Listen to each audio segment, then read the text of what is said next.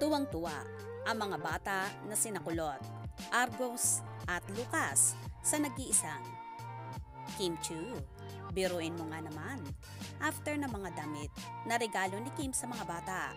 Aba, ngayon naman ay mga laruan at kung ano-ano pa ang bigay ng actress.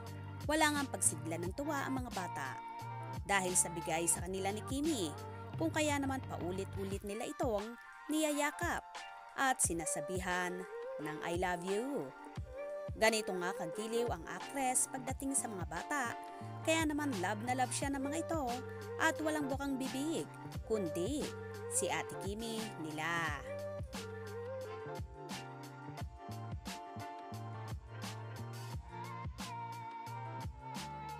Kasi ng dalaga at super lambing sa mga bata. Kaya naman yakap at halik din ang ganti ng mga kidos palagi kay Kimi. Highs, ang sarap sanang isipin na magkaroon na rin ng sariling baby sina Kim at ang kanyang longtime boyfriend na si Sian Lim.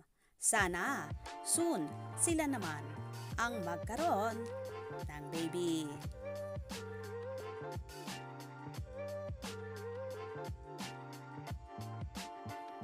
Hindi lang ang mga bata ang tuwang-tuwa, kundi na rin ang mga magulang ng mga kidos.